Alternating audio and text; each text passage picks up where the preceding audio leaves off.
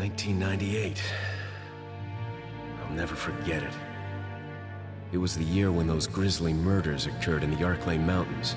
Soon after, the news was out to the whole world, revealing that it was the fault of a secret viral experiment conducted by the international pharmaceutical enterprise, Umbrella. The virus broke out in a nearby mountain community, Raccoon City, and hit the peaceful little town a devastating blow crippling its very foundation.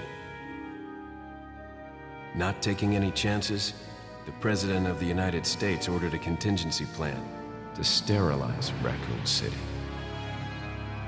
With the whole affair gone public, the United States government issued an indefinite suspension of business decree to Umbrella.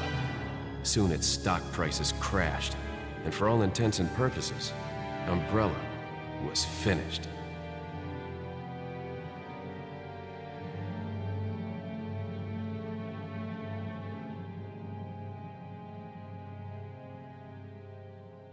Six years have passed since that horrendous incident.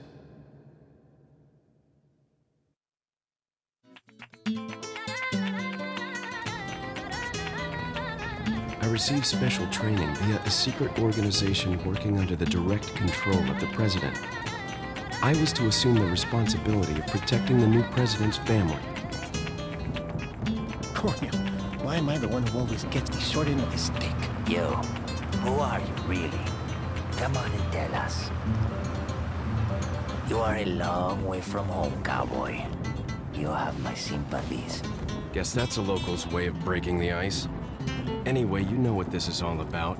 My assignment is to search for the president's missing daughter. What? All by yourself? I'm sure you boys didn't just tag along so we could sing Kumbaya together at some Boy Scout bonfire. Then again, maybe you did. Oh, you crazy American. It's a direct order from the chief himself. I tell you, it's no picnic. I'm counting on you guys.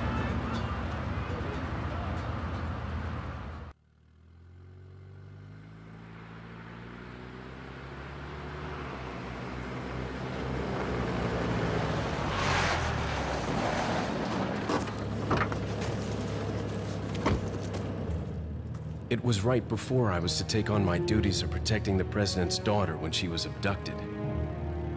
That's the ultimate reason I'm in this lonely and rural part of Europe.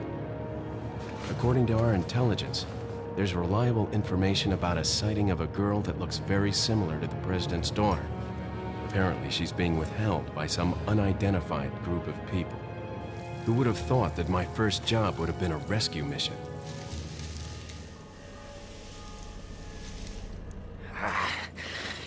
Freezing. So cold all of a sudden.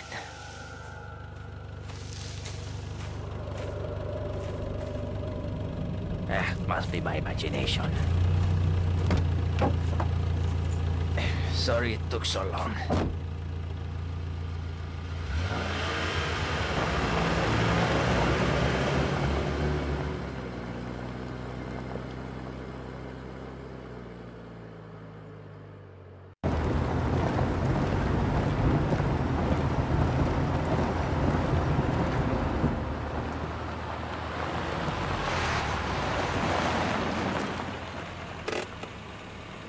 Just up ahead is the village.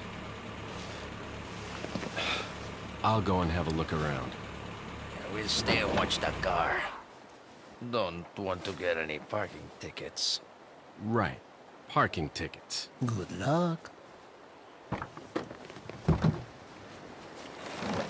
Jeez. Who are these guys?